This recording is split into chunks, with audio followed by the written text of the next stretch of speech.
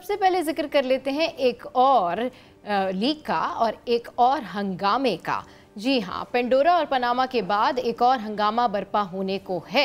इस हवाले से वैसल मजीद हम क्या बताने वाले अपने व्यूवर्स को? क्रेडिट स्विस बैंक के 18,000 अकाउंट्स का रिकॉर्ड लीक हो गया। अकाउंट्स में 100 अरब डॉलर से जायद रकम की मौजूदगी का इंकशाफ हुआ है।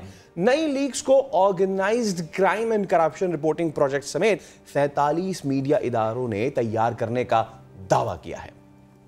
विकीलीक्स पानामा और पेंडोरा पेपर्स के बाद नया हंगामा। क्रेडिट स्विस बैंक के 18,000 अकाउंट्स का रिकॉर्ड लीक हो गया।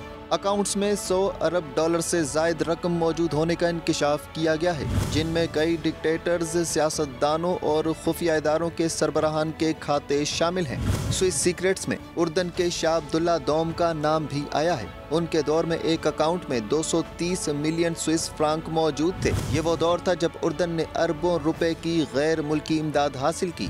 अलजायर के सबक वज़ीर दिफा खालिद नजार के दो अकाउंट्स 2013 तक फाल थे। जिनमें 16 लाख डॉलर्स मौजूद थे। ये अकाउंट्स उस वक्त खोले गए जब उनके खिलाफ जंगी जराइम की तहकीकात चल रही थी।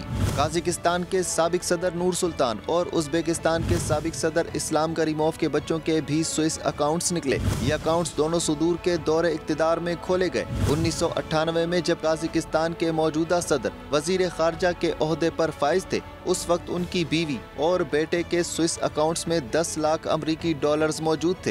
ये वो वक्त था जब काजिकिस्तान के कई बाशिंदे खत गुर्बत से नीचे ज़िंदगी गुजार रहे थे।